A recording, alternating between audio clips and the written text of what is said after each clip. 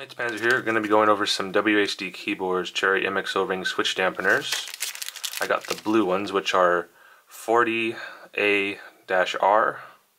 Um, and you can see by the description here, they reduce the noise produced by the Cherry MX mechanical keyboards when they are bottomed out.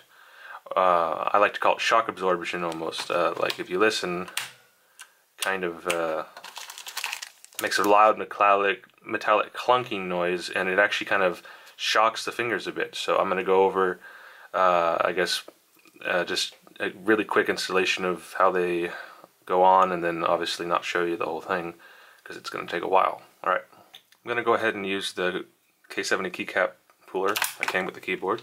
I'm going to replace the red keys, obviously with just the standard S keys, and just take a rubber O-ring and uh, place it around the top there like that. Really simple. And just place it back on. The Cherry MX Blue switch. Oh, that already feels better. Much smoother, less metallic sounding. Quite a little subtle but great difference. I'll go ahead and do it for all of them now. I didn't do the space bar. It kind of has like this, I don't know if the mic's picking it up, I'm not using my good one, but uh, it kind of has like this metallic ching to it, like a ring, like it's a, actually affecting the aluminum.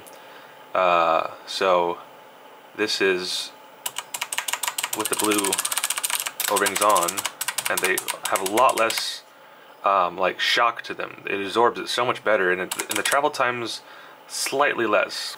Also something that uh, Corsair owners might be interested in knowing is like the key, for example, has a uh, spacebar has three prongs along the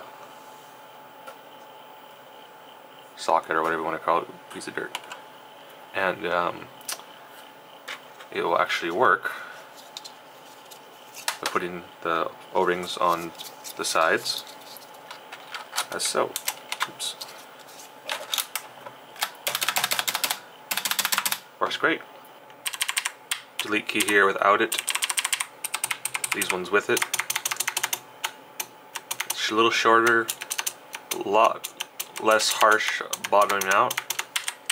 You can hear a much noticeable clackier sound. That's it smacking the the bottom of the switch here. See, there's just basically nothing there. It's just hitting that plastic making a big impact and it actually kind of feels I've been typing a little bit on this. It actually my hands don't feel as tired slash well I'm still getting used to mechanical blues. They have a little bit more uh, pressure than the other ones used to but I, I think this is a really good mod for people who, who could you know do a lot of typing and it would benefit and maybe. I don't know. Well anyways hopefully this is helpful. See you later